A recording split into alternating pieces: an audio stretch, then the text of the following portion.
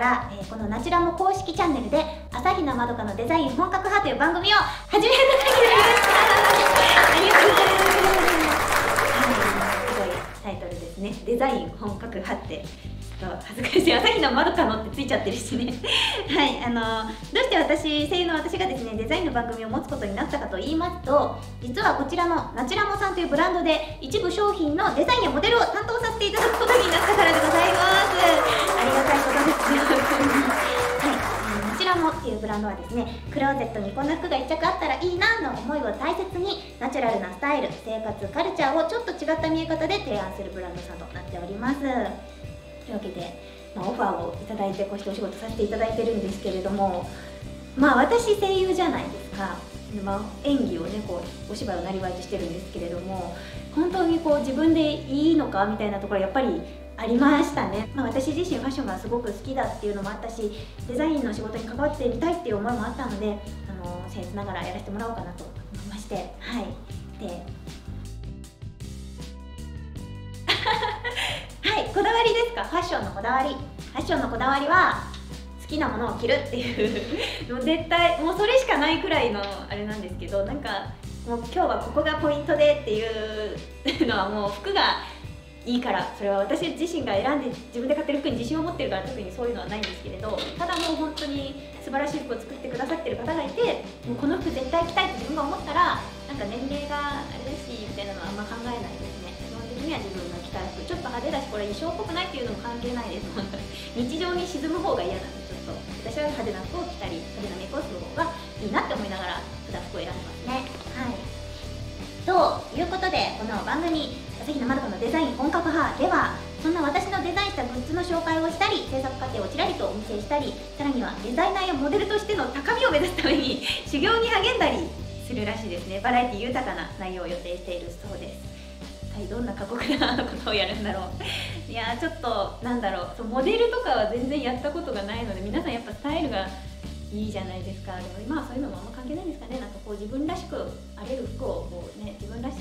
っていうのが大事なことだと思うのでとはいえちょっと気をつけつつ日々の生活にはやっていきたいと思います。なんかゲストさんとかもぜひ来てほしいですね。仲いい子とかにも来てほしいですし私結構そのバーチャルな方々とも交流があったりするので自分のね服をそういう向こう側にこう渡してっていうのもすごい面白そうだなと思ったりしてます。はい。さて、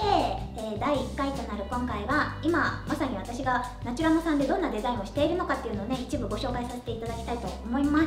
えー、まずはあのチョーカーワンピース。はい。えっとこれ一番最初になんか自分の中でパッて浮かんだのがこれだったんですよね。なんとなく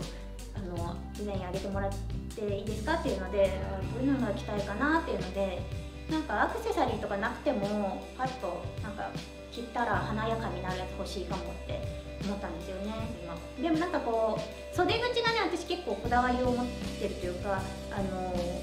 お姫様が好きなんですよね 私。なんかこうお姫様の袖ってふっくらしてキュッて絞まるんですよ。だそのそこがすごく好きでなんかそれをやりたいって思ってなんか袖を結構すぼませるというかそういうデザインに、えー、起こしてもらっています。あとはなんかちょっと武骨な感じにもなったらいいなと思ってカーキの色を選んでみたりですね。いろいろと試行錯誤しながらデザインさせてもらいました。で、まあ、色味とかはねさっき言った通りちょっとカーキってかっこいいかなと思ってやってみたり。えー、丈感とかねちょっと長い方がかっこいいかなってかっこいいと可愛いをなんか両立させたくて私はすごく自分のファッションにも割とそれは反映してるんですけどなんか可愛いだけじゃない方が私は好きなのでかっこいいってめちゃくちゃ女性の褒め言葉にしても嬉しいものだし私はそういう風にやりたいなって思うのでそういうなんか感じになったらいいなって。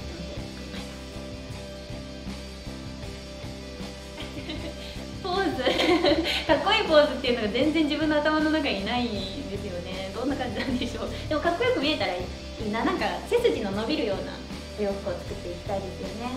姿勢がよく見えるといいな。はい2個目がクレマチスのトレーナーです。はい。これはあの私クレマチスという花がすごく好きであのっていうのも、出身地沼津市なんで静岡県沼津市なんですけど出身地にあのクレマチスの丘っていうあのクレマチスをメインにした場所があるんですね。でそこに一人でこうふらっと行った時にすごくその咲いてる花が綺麗ででこの紫とか青とかのお花ってなかなかまあやっぱりないじゃないですか咲いてるにしろ。すごく惹かれたっていうのもあってこの花を題材にしてなんかこう洋服にしたいなっていうのがありました。でお花をね私すごいお花好きなんですけどうちに猫がいるのであんまり花は飾れないなと。いうのもあってお花をこうモチーフにしたかったんですよ。で花束ってやっぱ素敵じゃないですか。花束自分が持ってなんか街を歩いてる時ってすごくテンション上がるんですよね。私今花束持ちながら街歩いてるってなんか映画みたいじゃないですか。でそういうなんか体験をしたい日常で。って思ったのでなんか花束っぽく花束をモチーフにした柄にしてみました。えなんかパキッとした色が多い花っていうかなんだろうその紫がこんなに映える花ってあるんだなと思ったのでちょっとパキッとしてるとかっこいいかなと思って。でなんだろうブーケっぽい形にしてもらったんですよね花自体を。でこうやってなんか手を前に組んでる時に花束を持ってるように見えたいなって思ったのでこの形に。してもらいました。きっとなんかねその男女関係なくこう花を花束を持ってる人ってすごい素敵に見えるので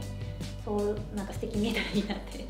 思いました。はい。えい制作中です。でもなんかこのすごいいろんなね色の花束出してもらったんですよ。ちょっと淡いのからパキッとした色まで。で私水色すごい好きなので水色と合わせたいなと思ってしてもらったんですけどちょっと全部良くてね迷っちゃうんですよ。なんかどんなサンプルもすごく良くてグラフィックの。ちょっと自信私自身ちょっと上がるのが楽しみでございます。